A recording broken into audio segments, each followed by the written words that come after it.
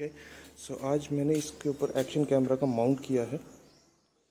डब्बा लगाने के बाद मैंने एक्शन कैमरा का माउंट किया। इतना स्पेस है दोनों के बीच में। इस स्पेस पे मैंने ये लगाया माउंट किया ताकि मुझे सामने से व्यू अच्छा दिखे इस तरह से। मेरे इस तरह से मैंने इस कैमरा को माउंट कर दिया है।